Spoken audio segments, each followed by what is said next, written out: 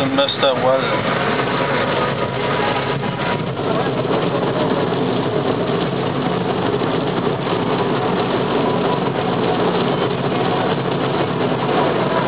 Until next time, people.